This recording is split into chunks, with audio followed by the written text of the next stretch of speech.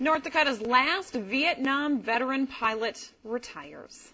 Good evening, I'm Lauren Colbert. I'm Tom Gerhart. Thanks for joining us tonight. Well, it's a day 35 years in the making.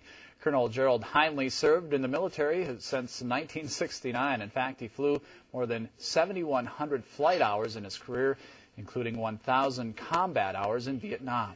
Heinle spent a year in Vietnam flying daily missions in a Charlie model gunship with the 135th Assault Helicopter Company. He's earned the Distinguished Flying Cross, the fifth highest Army decoration, and the Air Medal with V for valor. If you didn't enlist or go to school, uh, you were going to get drafted, so uh, I tried a little bit of both and decided to enlist. So there were good times and bad times. Uh, we remember the good times and try to forget the bad times.